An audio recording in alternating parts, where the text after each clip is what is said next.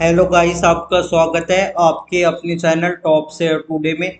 आज हम डिस्कस करने वाले हैं रेल विकास निगम लिमिटेड इस स्टॉक में देखें तो आज के दिन एक रुपये चालीस पैसे की गिरावट देखने को मिली है और ये स्टॉक ऑलमोस्ट दो परसेंट से भी ऊपर की गिरावट दिखाता हुआ नज़र आ रहा है।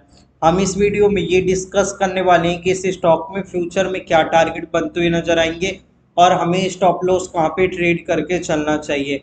सबसे पहले अगर हम टेक्निकल चार्ट पर आए तो कुछ इस प्रकार का चार्ट पैटर्न देखने को मिलेगा, जहाँ पर पीछे के एक हफ़्ते में से स्टॉक में 9 परसेंट से भी ऊपर की रैली देखने को मिल रही है और एक महीने में से स्टॉक में 13 परसेंट की गिरावट देखने को मिली है।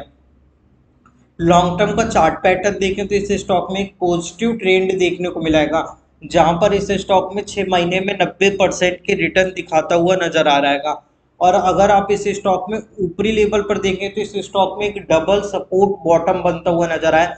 इक्यासी रुपये पचास पैसे, इक्यासी रुपये पचास पैसे इस स्टॉक में एक डबल सपोर्ट बॉटम बना। ऊपरी लेवल पर इस स्टॉक में एक दबाव देखने को मिल रहा है जहाँ पर देखें तो इस स्टॉक में एक नीचे का स्ट्रॉन्ग सपोर्ट लेवल है, सत्तावन रुपये सत्तावन रुपये इस स्टॉक में नीचे का एक स्ट्रॉन्ग सपोर्ट लेवल है, जहाँ पर ये डबल सपोर्ट बॉटम बनता हुआ नज़र आ रहा है। यहाँ से प्राइस पर दो बार स्टॉक ने टच करने के बाद एक बड़ा रिवर्सल देखने को मिलेगा।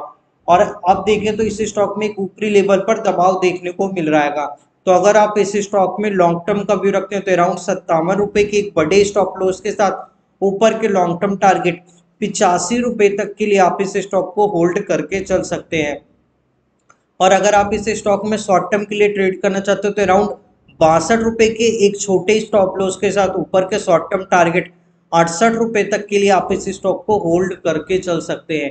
इस स्टॉक में एक स्टॉप लॉस के साथ ही स्टॉक को ट्रेड करें, वहाँ पर एक अच्छा रिटर्न देखने को मिलेगा।